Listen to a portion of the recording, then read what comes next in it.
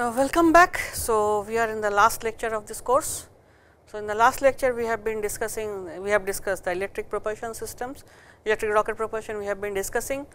Uh, in the last lecture we discussed electrostatic propulsion system. Now, last lecture I have discussed that there are three type of primary electric propulsion systems, electrostatic, electrothermal and electromagnetic. We have already discussed the electrostatic uh, propulsion system which operates by Coulomb force. Today what we are going to discuss are the other two variety that is electrothermal and electromagnetic propulsion system. Electrothermal propulsion system first let us take them up. In this system electric heating is used primarily the principal operation is that we heat the propellant using electric power and then accelerate this heated propellant through a nozzle to produce thrust. So, this is an expansion through a nozzle. So, among all these three this comes close to rocket propulsion because we actually use a converging diverging nozzle to produce the thrust. And then the electromagnetic forces is a Lorentz force which is created because of the interaction of the electric field and the magnetic field and that accelerates the plasma which is the propellant by the, the electromagnetic force accelerates that plasma. Now, so today first we will discuss the electrothermal uh, propulsion systems. So, electrothermal here the electromagnetic fields are used to generate a plasma to increase the temperature of the bulk propellant. So, electromagnetic field or the electric field is not for accelerating, but for heating. The primary objective of the electric power is to heat the bulk propellant to high temperature. Now, the thermal energy is imparted to the propellant gas is then converted into kinetic energy by a nozzle of either solid material or magnetic field. Now, magnetic field can also be used to create a virtual converging diverging pattern. Okay. Now, a low molecular weight gas typically is a hydrogen, helium or ammonia are preferred propellant. It is a true rocket even though the energy producing the heat comes from an electric external source. It is not a chemical energy, but an electrical energy. Performance of electrothermal systems in terms of specific impulse is modest compared to other electric propulsion system. They run, uh, fall in the range of 500 to 1000 seconds, which is essentially between the chemical rockets and the other electric propulsion systems. And we can see that, but they are almost double than that the cold gas, gas thrusters or the chemical rockets can provide. In USSR, the electrothermal energies were used since 1971. The Soviet Meteor 3 or Meteor Priroda or Resource O satellite series and the Russian electro satellite all of them used this electrothermal engines. Electrothermal system by Aerojet are currently being used on Lockheed Martin A2100 satellites which uses hydrogen as a propellant. Okay. So, this is the basic background of electrothermal systems. There are typically two types of electrothermal rockets. One is a arc jet thruster and second is a resistor thruster. First, let us look at an arc jet thruster. As the name suggests, in the arc jet thruster, the heating is provided by an electrical arc. So, if the electric arc has to be produced, again we need to have a cathode and anode and like a welding machine an arc can be produced. We provide high enough potential difference between the two and electric arc can be produced between the anode and cathode. That is the principle. So, here is the schematic picture of an arc jet thruster. Of course, this needs to be insulated as you can see that the propellant is coming from here into this gap, the center one is the cathode which is typically made of thoriated tungsten and then we have a converging area okay. and this is the anode, anode is tungsten. So, high voltage is applied between the cathode and anode because of that an electric arc is created here okay. and then the propellant which as I have just mentioned is some lightweight gas passes through this electric arc and because of the high temperature that is produced by this electric arc it gets accelerated and goes to supersonic speed and then it goes through a diverging nozzle creating a very high supersonic speed and then it goes out. Okay. As you can see here this is the schematic of an arc jet thruster. So, this devices are simple and reliable low power burst of thrust can be produced such a satellite needs for station keeping it can be produced by this thruster. Typically a non flammable propellant is heated. So, we do not need we do not have flame typically the changing the we can use if you are using hydrogen which is typically a liquid then that gets gasified when it goes through this arc. So, it converts into gas. So, there is a typically change of state from liquid to gas by an electric arc in a chamber and then the gas goes out of the nozzle throat is accelerated and expelled, expelled at reasonably high speed to create the thrust. Arc jet can use electric power from solar cells or batteries also and any variety of propellant can be used. At present hydrogen is the most popular propellant because it can be used in chemical engine also in the same aircraft.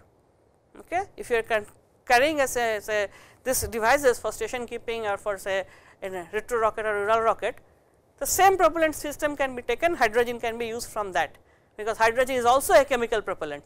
So, that is why this is typically used it, uh, to provide high thrust capability or to act, act as a backup to the arc jet also. Okay. Sometime chemical rockets are also used as backup to the arc jet thrusters. Okay. So, this is how an arc jet op operates. As you can see there is a schematic here which is scaled up. The propellant is sent through a swirler actually. So, it swirls here as you can see here, it swirls through this. So, a long time it will spend within that and then the direct current of tens or hundreds of amperes are passed through the gas between the upstream conical cathode as is shown here, the cathode and the anode a very high current will be passed and this gas is swirling in through this passage. Okay. So, then generating a highly constricted arc column that reaches temperatures of several of tons and thousands of degrees because of the electric arc that is produced within that. And that high temperature will heat up this gas and anyway increase the residence times of time of this gas by allowing it to swirl around. So, it is spending a lot of time and then it gets heated up goes to very high temperature. So, as I mentioned here that incoming propellant is usually injected tangentially this then swirl around and through this uh, this arc it swirls expanding in the anode which is also the nozzle as we mentioned the anode is also the nozzle to average velocities of tens of thousands of meter per second. So, the exit velocity is very very high. Since this arc jet operate on a voltage of above 100 volt which is generally higher than the spacecraft bus voltage, dedicated power processing units are required and then that requires additional mass. So, 100 volt DC power supply is required let me put it this way. So, additional mass uh, the, the mass of that can be actually more than the mass of the propeller the thruster itself. Okay. So, this is what an arc jet is. Next let us talk about a resistojet. What is a resistojet again? Is an electrical heater. An electrical heater is used to heat up the fuel that is what the resistojet is. So, here thrust is produced by heating a fluid typically a non-reactive fluid. Heat is transferred to the propellant from some solid surface such as the chamber wall or a heater coil. Okay. So, heating is usually achieved by sending electricity through a resistor. So, a simple uh, electric coil heating nothing else and because of this heating it essentially the propellant the fuel that is used gets converted into gas. So, it will be taken beyond its boiling temperature then that gas is expelled through a conventional nozzle that is what a resistojet is. They have been flown in space since 1965 on board Air Force Vela satellites. However, they became used in commercial applications in 1980 with the launch of first satellite of Intelsat 5 program.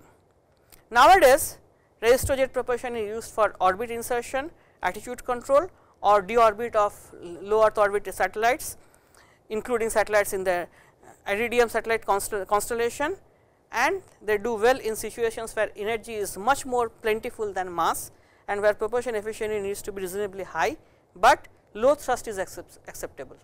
So, propulsion efficiency of the systems are fairly high. So, here is the schematic of a resistojet. Here the propellant comes in, the fuel resistor propellant comes in, propellant is passing through these tubes there is a valve heater here which will heat it, then the valve mounting place, there is a thermal stat, thermal standoffs, injector plates, the propellant is injected here, there is a catalyst bed heater.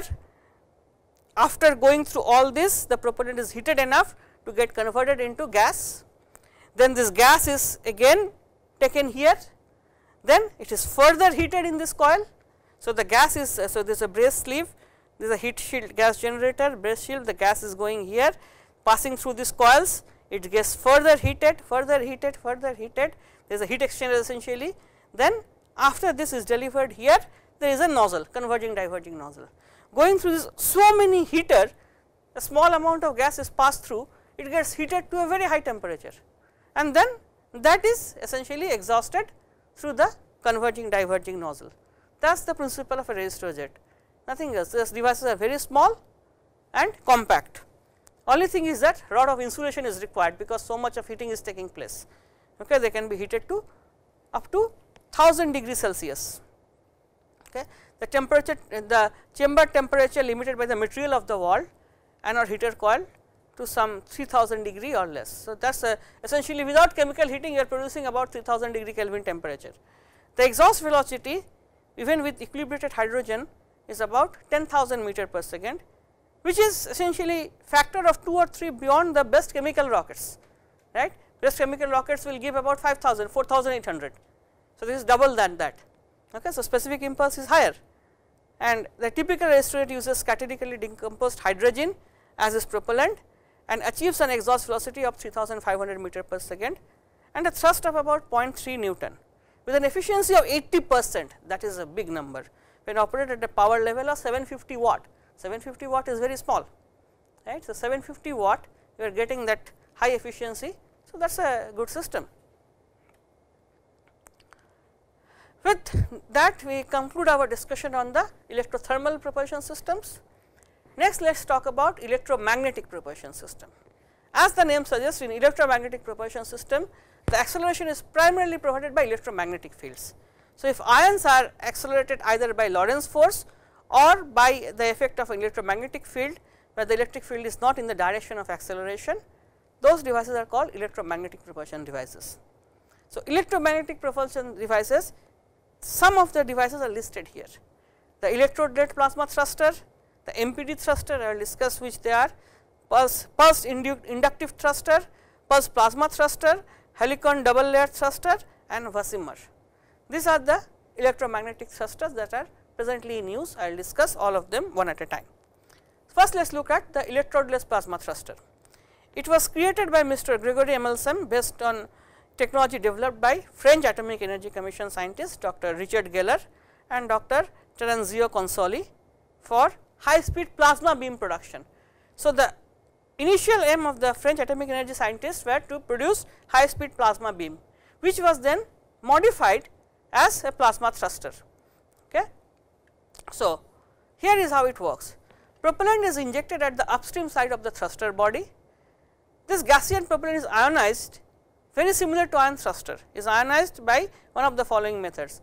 Either the bombarded with electron which has been done in the previous case we have discussed by a hot cathode or by an electron gun, steady state electric discharge between two electrodes, applying an alternative electric field or electromagnetic waves of various frequency, radio frequency. So, this portion is same as the ion thruster that we have discussed.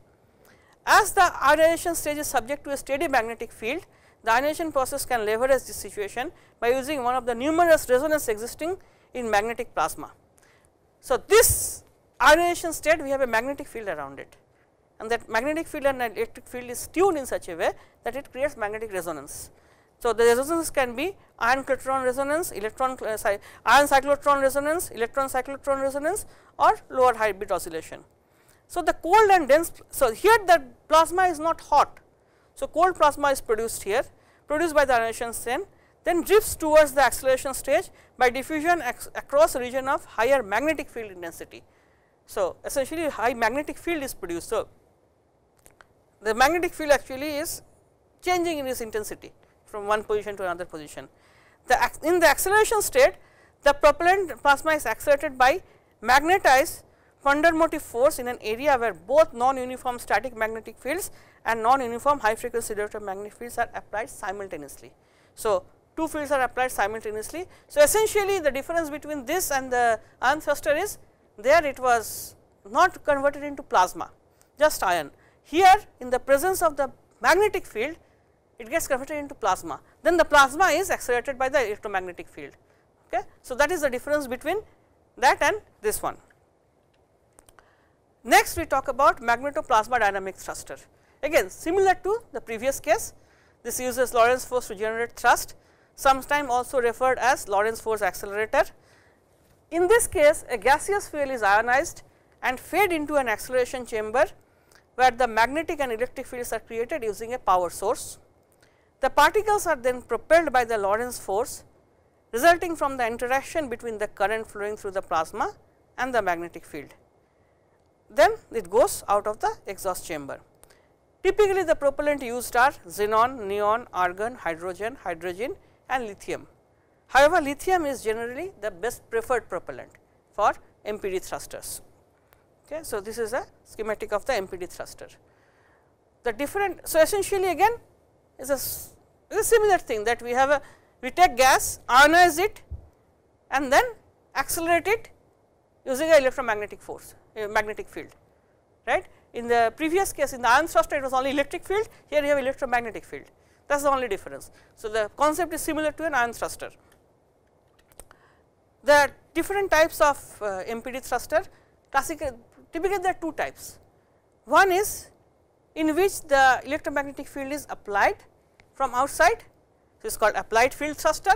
Other is it is created by the entire system itself because of the electric field that is there creates the magnetic field. So, that is called the self field.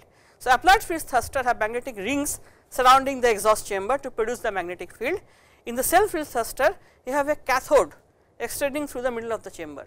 So, the presence of the cathode and the charged plasma creates the uh, magnetic field.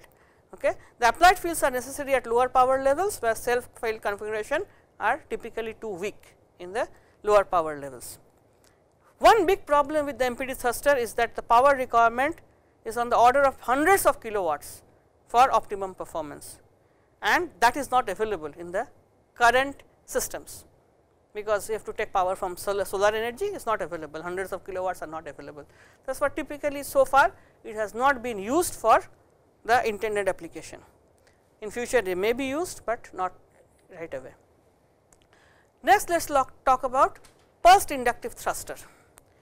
A pulse inductive thruster or PIT uses perpendicular electric and magnetic field to accelerate a propellant.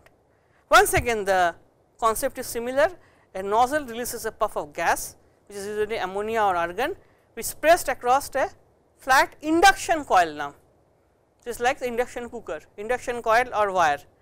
And bank of capacitor release a pulse of electric current lasting certain microsecond or all into the coil generating a radial magnetic field and this induces a circular electric field in the gas ionizing it and causing the ions to revolve in the opposite direction.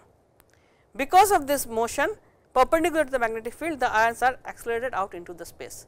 So, just try to visualize what is happening that we have a plate on which some gas is put then we are creating a magnetic field by discharging from a capacitor okay and then because of that a magnetic field is created which pushes the gas out.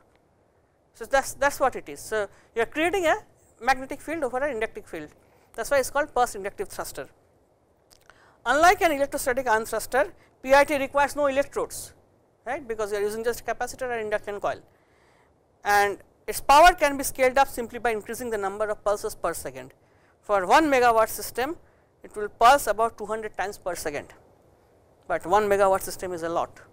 Okay. So, that is something that is still not practically available, but this is a concept which probably will soon be taken up for further development.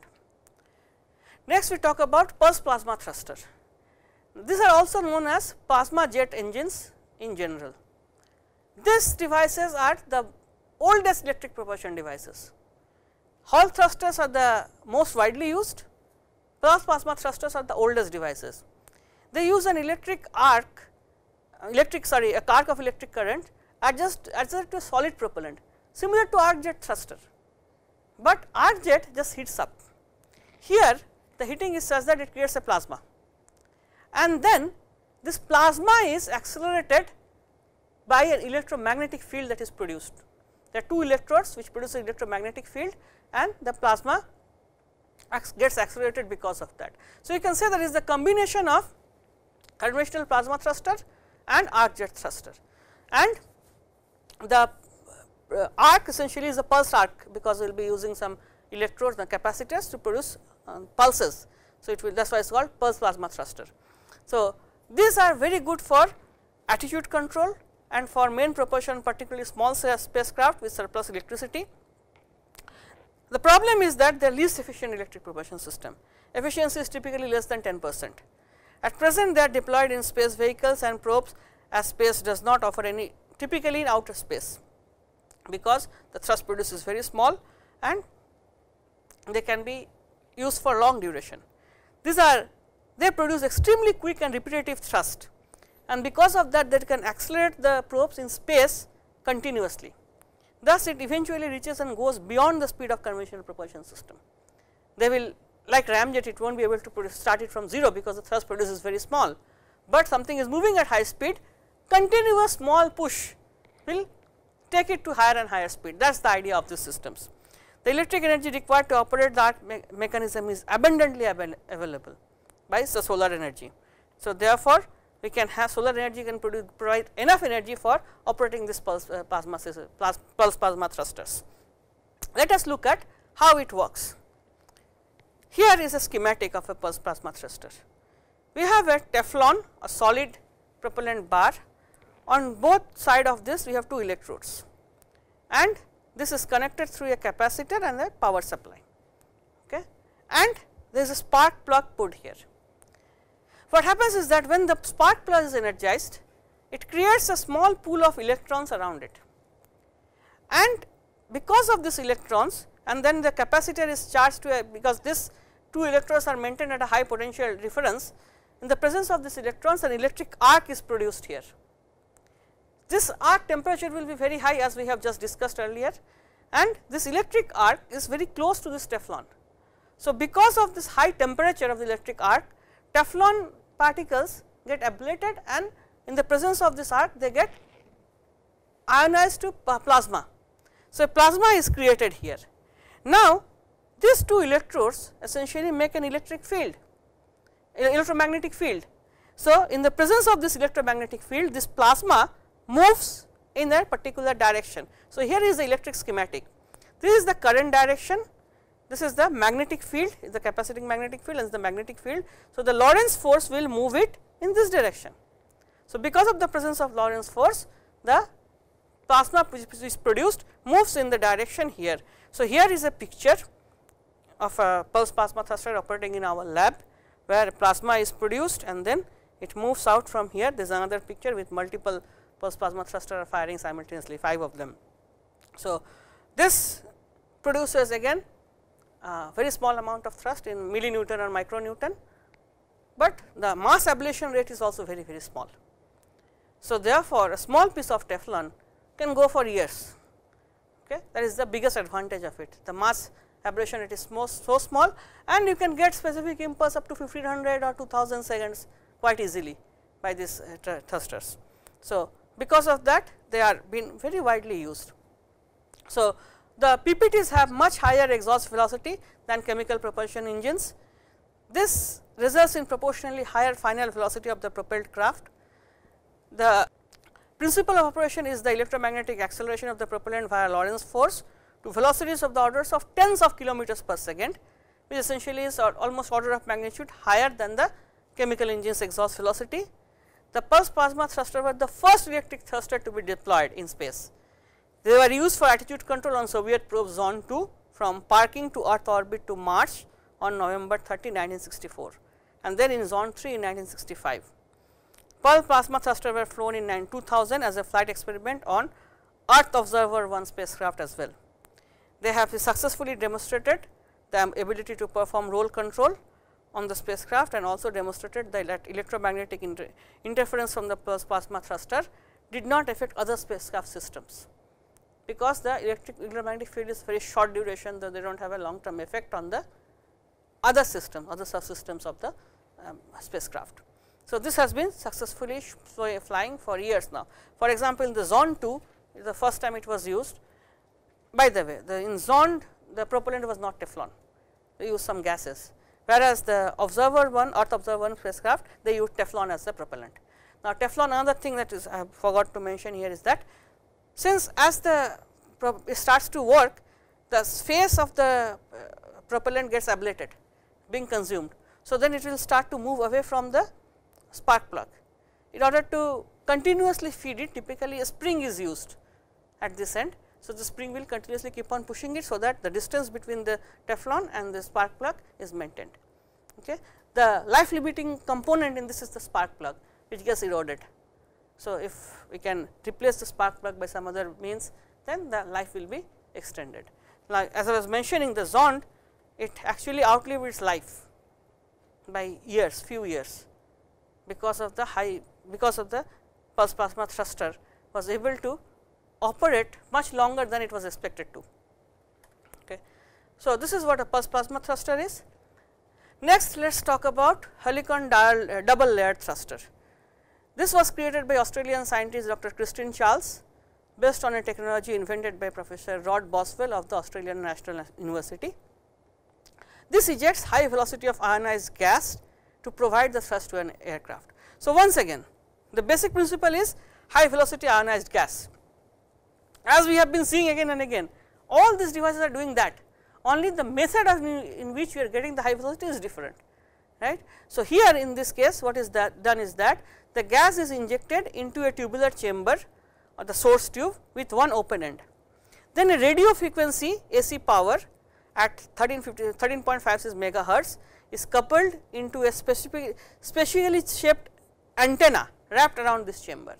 So, we have an antenna wrapped around a chamber through which the gas is flowing and a radio frequency high frequency AC power is supplied to that. The electromagnetic waves emitted by the antenna causes the gas to break down and from the plasma. Okay. So, essentially the electromagnetic plasma generation because of this. The antenna then exits a helicon wave in the plasma excites a helicon wave in the plasma which further heats the plasma. Okay.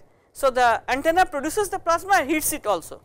The device has a roughly constant magnetic field in the source tube, but the magnetic field diverges and rapidly decreases in magnitude away from the source region and might be thought of as a kind of magnetic nozzle. Okay. So, magnetic field is reducing as it goes away. So, the flow will start to move in this direction. In operation there is a sharp boundary between the high density plasma inside the source region and the low density plasma in the exhaust which is associated with a sharp change in the electric potential. The plasma properties change rapidly across this boundary which is known as a current free electric double layer. The electric potential is much higher inside the source region than in the exhaust and this serves both to confine most of the electrons and also to accelerate the ions away from the source region.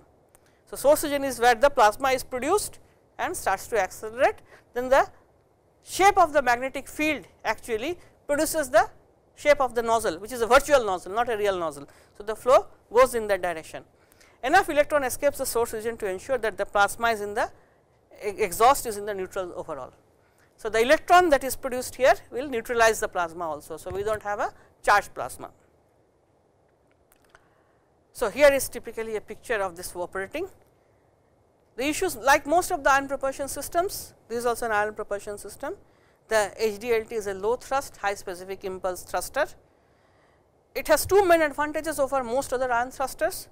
First of all, it creates an accelerating electric field without inserting any unreliable component like high voltage grid into the plasma. In the ion thruster you need the grids right. So, this is one of the major advantage and secondly you do not need a neutralizer because it is inherently neutralized since there are equal number of electrons and protons emitted right. So, it is inherently neutralized. So, you do not need a neutralizer, you do not need a uh, grid to accelerate it. So, the antenna itself, the magnetic field itself provides everything. Okay. So, that is what the best biggest advantage of this thruster is. Now, we come to the last one which is variable specific impulse magnetoplasma rocket are called VASIMR. It uses is also similar to the one we just discussed. It uses radio waves to ionize and heat a propellant and magnetic field to accelerate and the resulting plasma to generate thrust. Okay. So, it is very similar to the one we just discussed. The method of heating plasma used in VASIMR was originally developed as a result of research into nuclear fusion. VASIMR is intended to bridge the gap between high thrust low specific impulse propulsion system and low thrust high specific impulse system, because it is capable of functioning in both the modes. Okay. The Costa Rican scientist and former astronaut Franklin Chang Diaz created the VASIMR concept. Now, this is let us look at how it works. Here is a schematic diagram of the VASIMR system. Here first is that we have a converging diverging nozzle for ions and electrons. The propellant which is typically a neutral gas such as argon and xenon is first injected as you can see here into a hollow cylinder surface with electromagnets. Okay. So, we have electromagnets here. The gas first is this is surrounded with a antenna where radio frequency is going in. So, the gas is first heated to a cold plasma by a helicon radio frequency antenna similar to the helicon system we just discussed. It is converted into a cold plasma. It is also known as coupler which bombards the gas with electromagnetic waves stripping electrons of the uh, gas either argon or xenon we are using and leaving plasma consisting of ions and loose electrons which is now continuing down this step. Now, by varying the amount of energy dedicated to this radio frequency heating and the amount of propellant delivered to the plasma generation, the VASIMR is capable of either generating low thrust high specific impulse or high thrust low specific impulse, both are possible.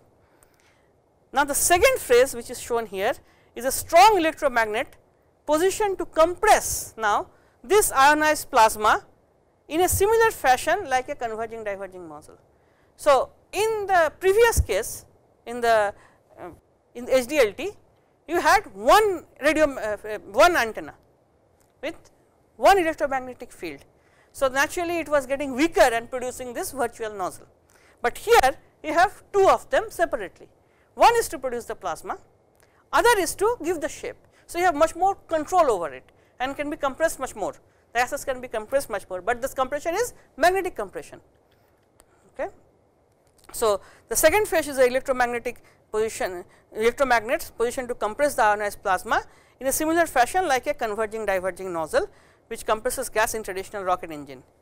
The second coupler known as the ion cyclotron heating section emits electromagnetic waves in resonance with the orbits of ions and electrons as this travel through the engine. This resonance of the waves and plasma is achieved through a reduction of magnetic field in this portion of the engine which slows down the orbital motion of the plasma particles.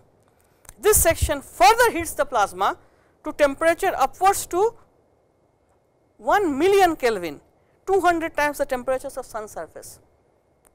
So, it is electromagnetic heating to that temperature, very high temperature okay. and after that there is a final diverging section which contains a steadily expanding magnetic field which forces the ions and electrons into steadily lengthening spiral orbits in order to eject from the engine as you can see here it comes parallel to the engine axis and the speed as high as 50,000 meter per second can be attained. Okay.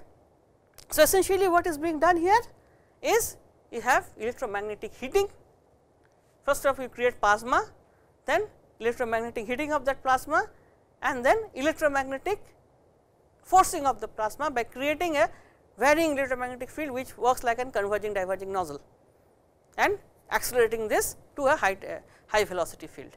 Okay. So, everything is essentially done by electromagnets, you do not have physical boundaries doing it. So, essentially what you need is a very good insulation, so that the magnetic field is insulated.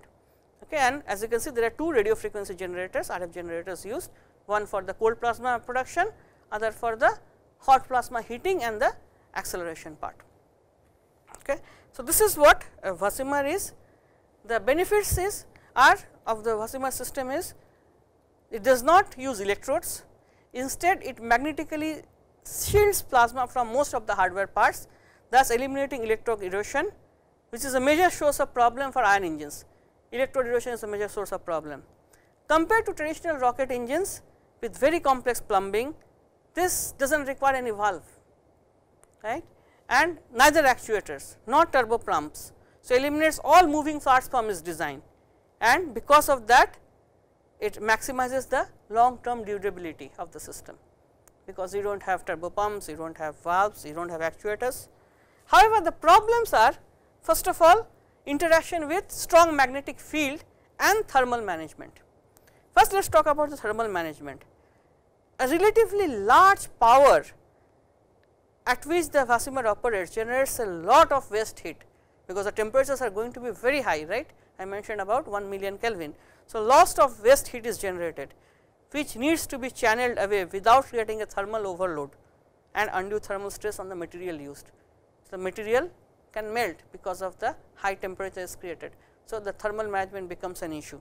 And secondly, the magnetic field that is generated require powerful superconducting electromagnets, which are employed to contain the hot plasma generate Tesla range magnetic fields, which are very very high magnetic field. They can present problem with other onboard devices and also can produce unwarranted torque by interacting with the magnetosphere. So, these are the two major issues with VASIMR system, but if used properly this system can have has potential to work both as a high thrust low specific impulse and low thrust high specific impulse system that is a major advantage. So, it will be a universal system. Okay. So, with this we come to our discussion. So, first I would like to once again thank the references from which I have taken the material Dr. Ramamurthi's book, then uh, NASA's web page, Wikipedia, Google and this personal web page nakka-rocketry.net which provided me the material for this part of the course. So, let me just summarize what we have discussed in this course. We started off with the type of rockets, rocket equations, the space dynamics, then the rocket performance, then the multi-staging, then the rocket performance is the chemical rocket performance, then combustion, then nozzle design. After that we talked about solid propellant rockets, liquid propellant rockets and then couple of lectures on electric propulsion system.